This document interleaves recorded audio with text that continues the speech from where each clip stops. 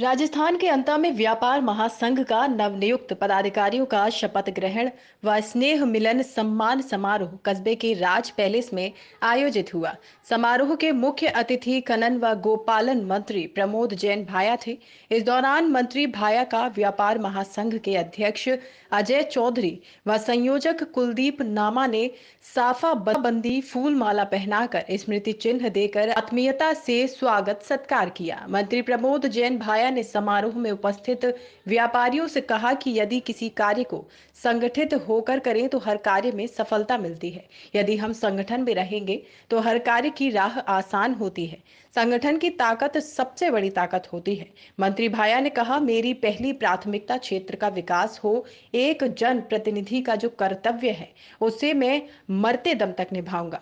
उन्होंने क्षेत्र में हुए विकास कार्यों की उपलब्धियों पर विस्तार से जानकारी दी। समारोह में मंत्री भाया ने व्यापार महासंघ के सभी पदाधिकारियों को शपथ दिलाई। मंच पर सभी अतिथियों का व्यापार महा महासंघ द्वारा सम्मान किया गया। इस दौरान पालिका chairman Mustafa Khan, SDM Deepak Mahawar, DSP Omendra Singh Shekhawat सहित कस्बे के व्यापारी मौजूद रहे।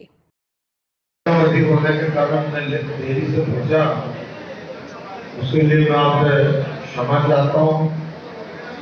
और संगठन में शक्ति होती है। संगठन कोई भी हो,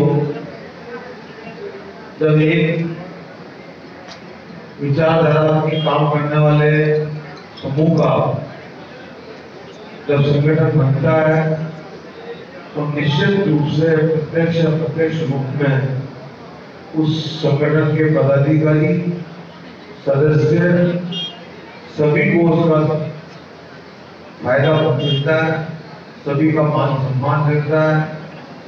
कई बार कई जब परेशानियाँ आती हैं तो एक तो व्यक्ति अकेला उसकी परेशानी को ज़ाहिर करे और एक, एक संगठन सब मिलकर उसकी बात को उठाए तो निश्चित रूप से उसका मदद ज़्यादा होता है।